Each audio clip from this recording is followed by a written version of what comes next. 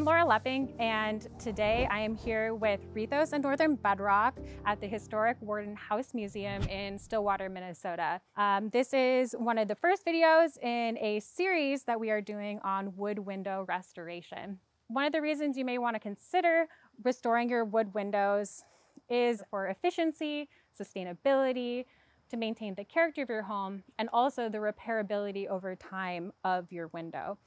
Pre-1940s windows are often made of materials that you will not be able to find anymore. So when we think about this sash, it is most likely made of old growth wood. Old growth wood tends to be more rot resistant, insect resistant, and will last a lot longer in your home than even if you had replaced it with a new wood sash.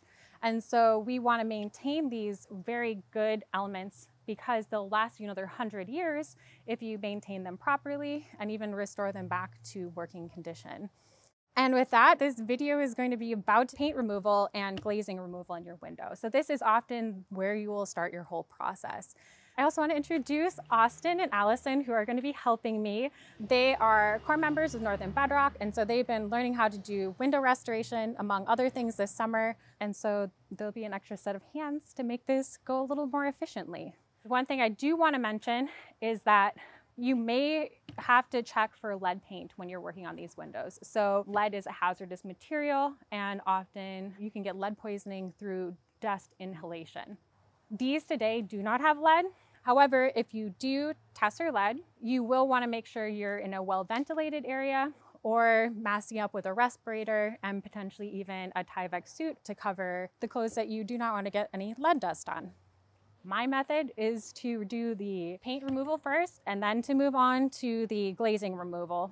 And I'll probably have one of my assistants show how to do this efficiently with two people, which means having one person with a heat gun heating the paint while the other person comes in and scrapes the paint away. Personal protective equipment or PPE that I tend to use are usually a pair of gloves and a pair of glasses. And that's just because sometimes you can kick up little pieces of this glazing putty or have kind of dust flying around.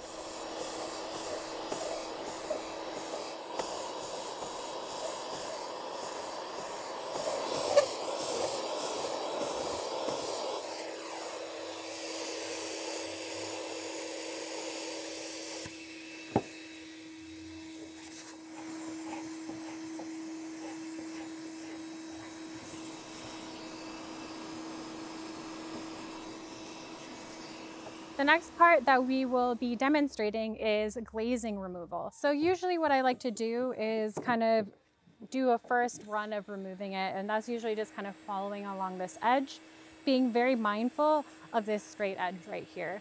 And so I always say you never want to kind of go inward, you really just want to use this edge to guide you along. Um, because this edge is what we're going to see. We want that to be nice and straight. One of the reasons you want to make sure you're vacuuming as you go is also have to do with potentially scratching your glass. We have the majority of the glazing out of this small pane.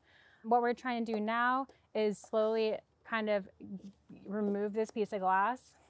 The issue we're running into is that there's still around the edges, there's a tiny bit of space that holds the glazing putty. And so what we need to do is just soften that and remove enough so that we can kind of uh, pop this little pane of glass out. The majority of where I'm pressing on is right along this edge, but gentle kind of wiggles to get it out. This edge is still very stuck, so I'm gonna have you use the heat gun just along, barely along this edge where there's a little glazing. Okay, let's see how this goes. Like I said, I'm just really gently running this along. Okay, so I got this side to pop up. And what I'm gonna gently do is just kind of pop it up and kind of pull it out. When you take this out piece by piece, what you want to do is take a little piece of blue tape and you are going to label your glass. I'll put a piece of tape with an arrow pointing upwards, upwards, and an R. And that way you will know that this is the right pane of glass and that you need to have it situated with the arrow pointing upward. And so generally I always know that the blue tape is on the outside of the window where we're glazing.